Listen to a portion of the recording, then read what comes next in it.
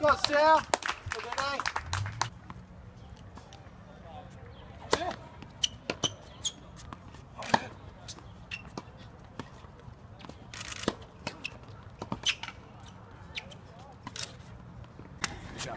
Thank you.